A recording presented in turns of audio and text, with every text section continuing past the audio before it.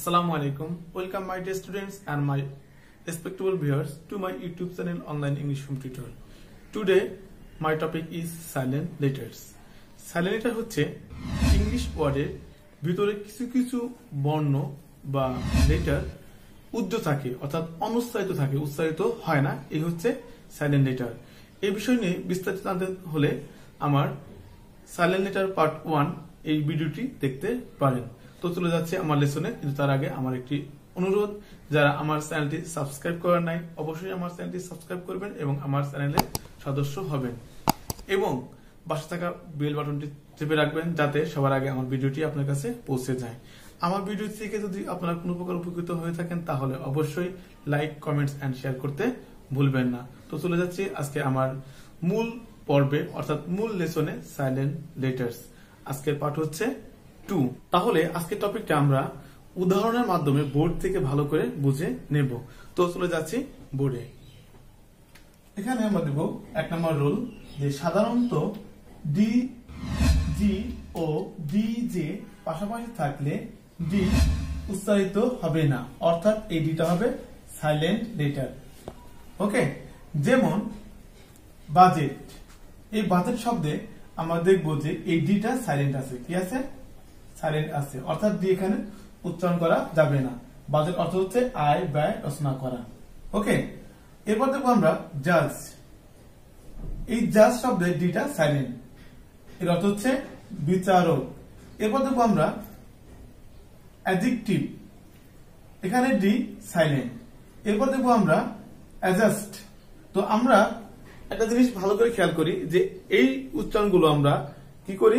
যে অ্যাডজেক্টিভ আমরা খুব সহজে উচ্চারণ করি। অ্যাডজেক্টিভ অ্যাডজাস্ট আসলে কি? এই দুটা উচ্চারণই ভুল। উচ্চারণ কি হবে?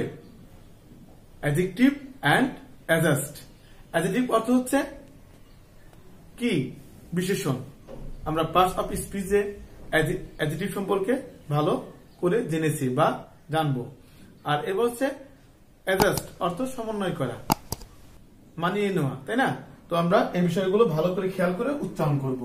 এই উচ্চারণগুলো আমরা কি করব? ভালো করে খেয়াল করব, যাতে ভুল না হয় এবং বেশি বেশি প্র্যাকটিস করব।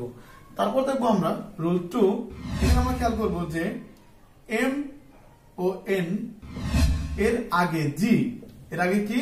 জি অর্থাৎ এম বা এন এর আগে যদি জি কি থাকে? জি থাকে অর্থাৎ এই জি লিটার সাইলেন্ট হয়। আমরা আবার খেয়াল করি এম ও এন এর পূর্বের লেটার জি সাইলেন্ট হয়। অর্থাৎ এই জিটা উচ্চারণ করা যাবে না। যেমন সাইন এখানে জিটা কি? সাইলেন্ট ওকে এরপর দেখব আমরা এই সাইন অর্থ হচ্ছে চিহ্ন। এরপর আমরা দেখব প্যারাডাইম প্যারাডাইম এই যে এম এর আগে জি আছে এই জিটা কি? সাইলেন্ট ওকে প্যারাডাইম অর্থ হচ্ছে দৃষ্টান্ত বা এক্সাম্পল আমরা আর একটা সিনোনিম বলতে পারি এক্সাম্পল এরপর দেখব আমরা জি ন্যাট আমরা অনেক সুন্দর করে উচ্চারণ করি জি ন্যাট আসলে উচ্চারণটা কি হবে? শুধু ন্যাট এন এর আগে যেটা সাইলেন্ট ন্যাট অর্থ হচ্ছে মশা অথবা ডাস্ট মশা অথবা ছোট মশা জাতীয় জন্তু অথবা উপদ্রব্যকারী ওকে আমরা আবার দেখব যে এরপর আর একটা আমরা অনেক সহজে উচ্চারণ করি জি, নিউ। আসলে উচ্চারণটা কি হবে? নু। উচ্চারণটা হবে নু। এর অর্থ হচ্ছে এক জাতের হরিণ। এরপর আমরা দেখব যে malign M A L I G N এখানে যেটা সাইলেন্ট। মালাইন অর্থ মারাত্মক। অর্থ হচ্ছে মারাত্মক। ওকে, তো আমরা এখান থেকে আরেকটা একটা বিষয় আমাদের খেয়াল করতে হবে যে জি এন বা জি এম ভাগ হয়ে দুটি সিলেবল হলে জি তখন উচ্চারিত হবে। অর্থাৎ যখন এই জি এবং এন দুটা সিলেবলের মাঝখানে পড়ে যাবে, অর্থাৎ দুটা আলাদা হয়ে যাবে, তখন কি? জিটা উচ্চারণ হবে। যেমন সিগনেচার এখান থেকে এস আই জি এবং এন এ টি ইউ আর ই কি হচ্ছে? আলাদা হয়ে গেছে। সিলেবল কি হয়ে গেছে? আলাদা হয়ে গেছে। যার কারণে এখানে জিটা উচ্চারণ হবে সিগনেচার একই রকম প্যারাডিগম্যাটিক এখানে ম্যাটিকটা আলাদা উচ্চারণ হয়েছে ডিকটা আলাদা উচ্চারণ হয়ে গেছে। এখন আমরা দেখব রুল থ্রি এখানে আছে, শব্দের শুরুতে কে এন থাকলে কে বর্ণটি বা লেটারটি সাইলেন্ট হবে। ওকে, আমরা বোর্ড থেকে এক্সাম্পলগুলো দেখে নেই। কি থাকবে? কে এন থাকলে কেটা কি হবে? সাইলেন্ট অর্থাৎ এন উচ্চারিত হবে, কেটা সাইলেন্ট হবে। যেমন কে এন ডাবল ই এখান থেকে কেটা কি? সাইলেন্ট কি হবে? সাইলেন্ট আর উচ্চারণ হবে এন ডাবল ই এন অর্থাৎ উচ্চারণ হচ্ছে নি, অর্থ হচ্ছে হাঁটু। এরপর আমরা দেখব আর একটা নাই। এটা কেটা সাইলেন্ট থাকবে, উচ্চারণ হবে এন থেকে। এন আই এফ ই নাই, অর্থ চাকু বা ছুরি। তারপর আমরা দেখি, এটার উচ্চারণ আমরা কি বলি? কে এন ও ডাব্লিউ আমরা উচ্চারণ করি নো। আসলে উচ্চারণ হবে কি? নো। উচ্চারণ হবে নো এখানে ডাব্লিউ এটা টু সাইলেন্ট ওকে তো উচ্চারণ এটা কি হবে? নো অর্থ হচ্ছে জানা। এরপর আমরা দেখব knit K N I T knit অর্থ বোনা। N K N E A D knit এর অর্থ হচ্ছে পিসা বা দলা করা। অর্থাৎ দলামলা করি না আমরা, পিসি এইরকম নিট ওকে এরপর আমরা দেখব রুল ফোর সাধারণত জি এইচ শব্দের ভিতরে থাকলে জি এইচ সাইলেন্ট লেটার হবে। যেমন কিন্তু আরেকটা বিষয় আছে, কিন্তু শব্দের শুরুতে হলে এইচ সাইলেন্ট হবে আর জিটা উচ্চারিত হবে। আমরা এক্সাম্পল দেখলে বিষয়টা ভালো করে বুঝব।